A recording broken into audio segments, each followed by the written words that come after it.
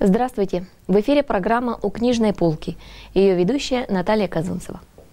25 июля 1924 года в деревеньке под названием Фарасы родился мальчик, которого назвали Арсением. Пройдет время, и он станет одним из самых уважаемых греческих старцев и духовных светил греческого народа XX века, старцем Афонской горы – известный своими духовными наставлениями и подвижнической жизнью. Я думаю, что многие наши зрители уже догадались, что речь идет о ныне прославленном в лике святых преподобном Паисии Святогорце. И сегодня, в день рождения известнейшего подвижника нашего времени, мы предлагаем вашему вниманию две небольшие книжечки, из которых вы узнаете о детстве святого старца и найдете советы о воспитании своих детей – Подробнее об этих изданиях далее в нашей программе.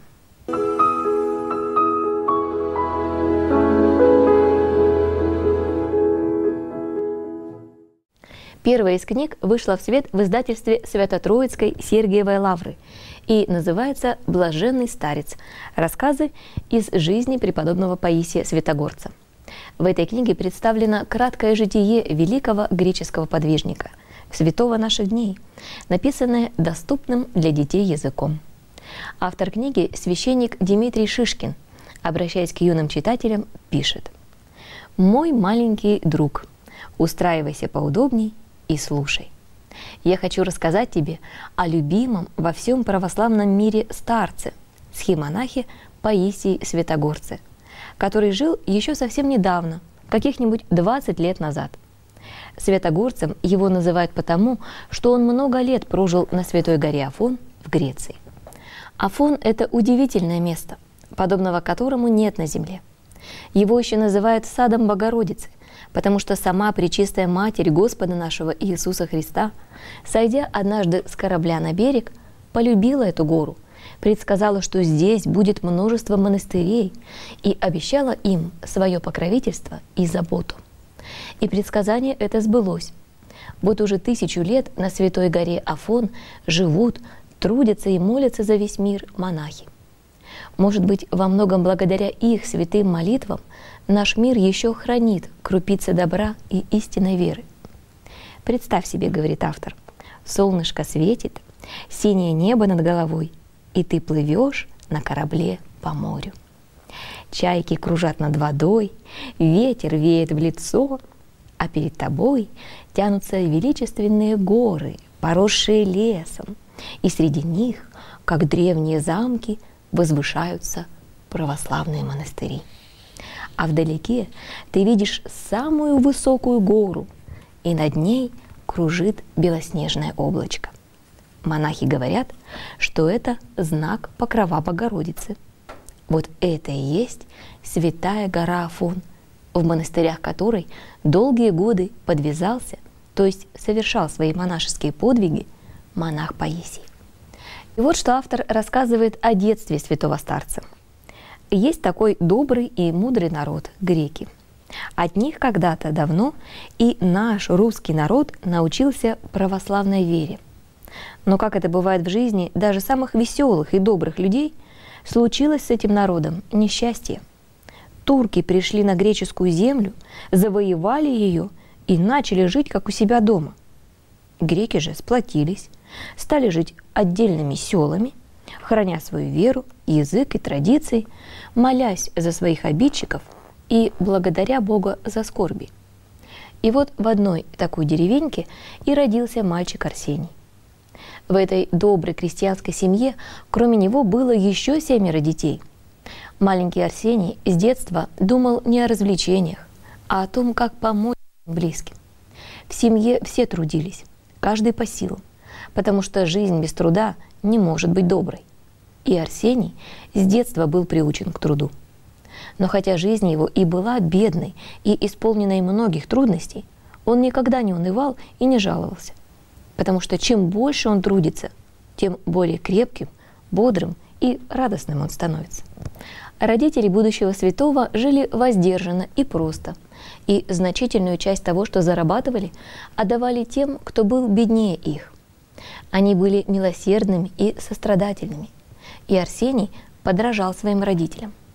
Он рос очень добрым, готовым прийти на помощь всем, кто нуждался в помощи и утешении. В его семье, как уже было сказано выше, было много детей, и отец воспитывал их в строгости – Поэтому даже смиренному Арсению иногда доставались шлепки. Но он на отца никогда не обижался, потому что понимал, что тот хочет оградить его от чего-то вредного для души. Арсений всегда старался понять, за что его наказывают, чтобы уже больше не совершать подобных ошибок. Мама же учила Арсения добру своим примером. Когда он стал монахом, то вспоминал, что к молитве его приучила мама – которая всегда молилась вслух во время работы. Всегда говорила «Господи, благослови! Господи Иисусе Христе, помилуй меня!» А работы у нее было много. И на рынок нужно было сходить за продуктами, и приготовить покушать, а также постирать, убрать в доме, поработать на огороде, а весной и летом помогать отцу в поле. Как далее повествует автор, у маленького Арсения была большая коробка, в которую он складывал книги, рассказывающие о жизни святых. Он приходил из школы и первым делом бросался к этой коробке и с такой жадностью принимался за свое любимое чтение, как современные дети бегут к телевизору, чтобы посмотреть мультики, или спешат включить компьютер, чтобы позабавиться играми.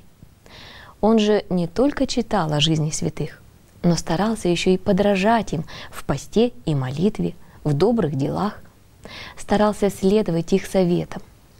Так он вычитал в житии одного святого, что если чего-то боишься, то надо от этого не убегать, а смело идти навстречу и прогонять страх. Например, Арсений боялся кладбища, через которое ему часто приходилось ходить. И вот он приглядел на кладбище пустую могилу – пришел и залез в нее ночью. Он молился в этой могиле до тех пор, пока не прошел страх. Больше Арсений уже не боялся кладбища. У каждого из нас есть какие-то страхи. И пример маленького Арсения учит нас тому, как эти страхи надо преодолевать. Не прятаться от них, а идти им навстречу с молитвой и верой в Бога. У Арсения с детства была горячая любовь к Богу и стремление к Нему – ты знаешь, что чувствуют дети, когда они долго не видят родителей и сильно скучают по ним. Вот так же и даже сильнее маленький Арсений полюбил Бога и хотел, чтобы все любили его так же, как и он, и расстраивался, если видел, что кто-то Бога не любит. Глаза у маленького Арсения, особенно когда он говорил о Боге и его святых, просто сияли от счастья, и за это его прозвали светлячком. Чтобы дети больше узнали о Боге и полюбили Его, он собирал своих товарищей в небольшой церквушке и читал им Новый Завет и жития святых, учил молиться и делать поклоны. И дети слушались Арсения, становились лучше, добрее и тоже начинали любить Бога. Конечно, Арсений был особенным мальчиком, избранником Божиим. Он с детства чувствовал огромную любовь к Богу и хотел быть монахом. Заветная мечта Арсения исполнилась, когда ему было 29 лет. Он приехал на Святую гору Афон и стал монахом Паисии. Много лет он подвязался на Афоне и Синае и получил от Бога великий дар утешать и наставлять людей на добрую жизнь, а также исцелять их от разных болезней. Бог прославил его как великого подвижника – во время его земной жизни многие люди обращались к нему за советами по разным вопросам.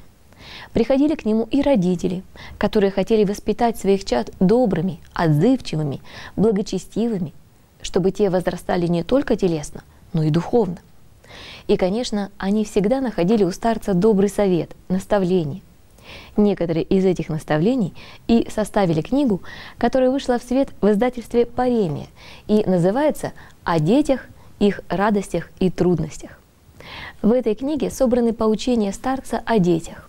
В ней идет речь об их радостях и трудностях, от младенчества до зрелости, а также об их обязанностях перед родителями. По словам старца Паисия, родители, которые рождают детей и дают им тело, должны, насколько возможно, содействовать их духовному возрождению. То, что родители не в силах сделать для своих детей сами, им следует впоследствии возложить на учителей. Поэтому наша церковь и молится о родителях и учителях. Однако кроме телесных отцов есть и отцы духовные. Духовные отцы трудятся над духовным возрождением людей и содействуют воспитанию детей более действенно. То есть все, каждый по-своему, каждый своим примером должны помочь тому, чтобы дети духовно возродились, чтобы они мирно прожили в жизни сей и пошли в рай, заключает одно из своих поучений старец Паисий.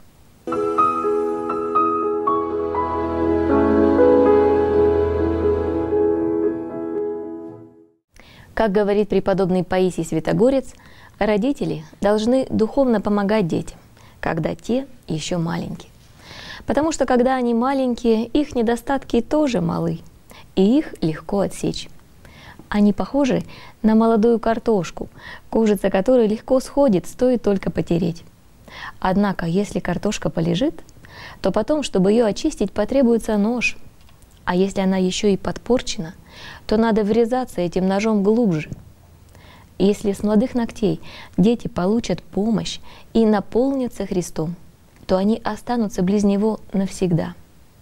Даже если подрастая, они немножко собьются с пути по причине возраста или дурной компании, то снова придут в себя. Ведь страх Божий и благоговение, которым были напоены их сердца в юном возрасте, никогда уже не смогут в них исчезнуть. Так с детства было напоено сердце маленького Арсения, которое, возрастая, училось любить Бога, всех людей и окружающий нас мир Божий, чему и мы должны поучиться у святого Паисия. Дорогие друзья, эти книги и другие издания, о которых мы рассказываем в нашей программе, спрашивайте в церковно-книжных лавках и православных библиотеках. Я желаю вам приятного и полезного чтения. Всего вам доброго. До свидания.